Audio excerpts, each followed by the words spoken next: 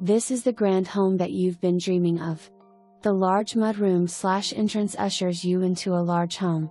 Wood floors are freshly stained, ductwork has been completely replaced for the best efficiency of the gas furnace, and a new gas water heater has been installed. So much of the major work has been done it's time to move in and make it your own. Kitchen has potential for a pantry and a cozy breakfast nook. Primary bedroom downstairs has a walk-in closet, access to the back deck and the full bathroom with jetted tub. Upstairs you will find four bedrooms or potential office spaces with plenty of light.